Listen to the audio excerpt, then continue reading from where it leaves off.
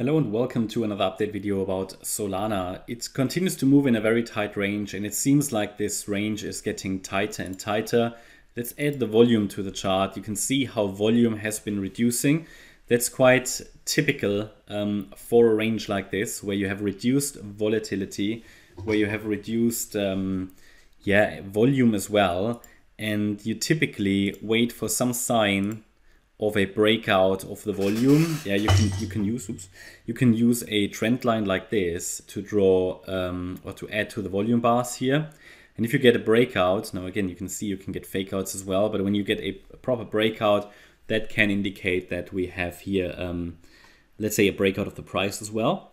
Um, at the moment, there is not much more room to go for volume, so it is getting squeezed and squeezed. And typically, when you get this, then the next move will be quite impulsive. Now, at the moment, as long as we're holding 1985, I would assume the move to, is going to be to the upside in a third wave.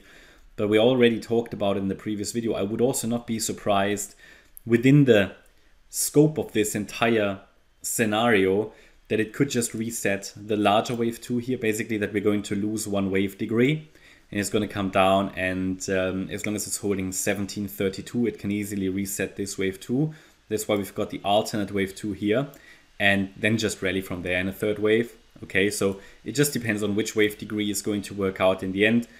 Honestly if we break down a little bit to here and then rally or rally straight away it's all part of basically the same scenario.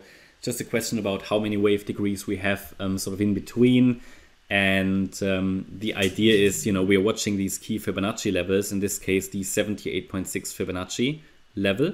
This is very important because below this level, you would typically get not invalidation, but in most cases, eventually it will be invalidated, the, in this case, bullish setup. So the 78.6 Fib level is very important. As you can see on the chart, we've got two different 78.6 Fib levels, one at 1985 one at 1732, that just simply relates to the wave degrees. So we have one large 1-2 setup, which is a bullish setup, which could result in a third wave rally.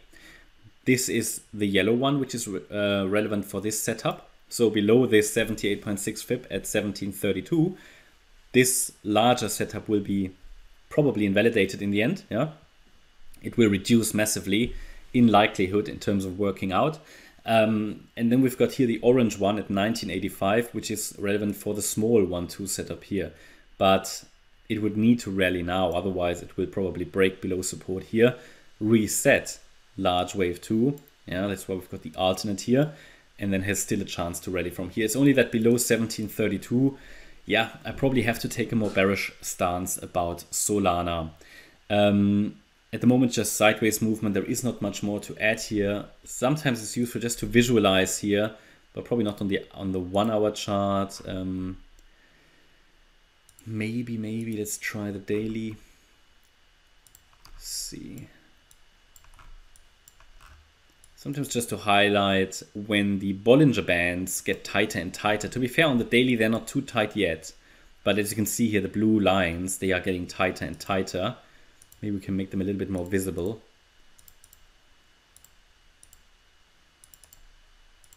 Put them in white. As you can see, they get tighter and tighter. Um, if you get this, yeah, typically the next move is very impulsive. So we had a very tight range here between December and January. Well, yeah, early December, early January. Became so tight that you got a breakout here.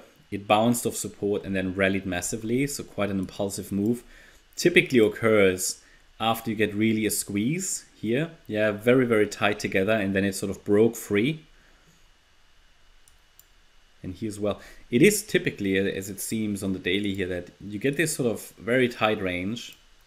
Then it moves one way, moves the other, then breaks out. Here as well, we had this very tight range, moved one way, broke out. Here as well, very tight range, moved one way, broke out.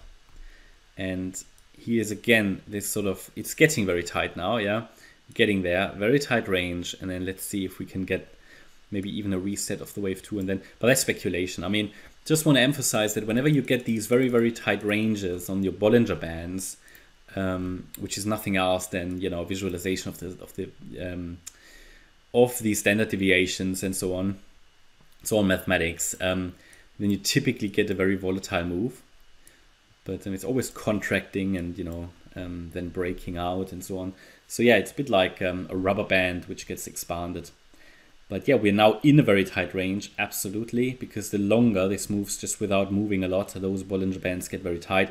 The thing is, why is that the case, that they then break out? Well, it's basically because um, when it's so tight, it just doesn't need much to really stretch the Bollinger Bands, and then it's like rubber. Yeah, so it goes into support here. So like rubber, breaks out, and it swings back, okay? So if you get that, and it doesn't take a lot, lot when the Bollinger Bands are so tight, you get you know this sort of spring effect. Um, yeah, certainly something worth watching. I don't use the Bollinger Bands a lot. It's just some, sometimes nice for for visualizing. Um, but yeah, otherwise, you know, no no additional comments here. Currently, bullish perspective as long as support is holding. The Elliott waves allow us to understand those critical support areas, which which are relevant and which are relevant for invalidation. Um, we talked about those now, and I guess a breakout to the upside above the descending trend line here would be a very first good indication that this yellow wave 2 is over and that we're actually in a third wave rally. Alright, that's my update about Solana. I hope you liked the update. If you did, please hit the like button, leave a comment and subscribe. And if you really like the content, then please check out the channel membership. Thanks a lot for watching. Bye bye.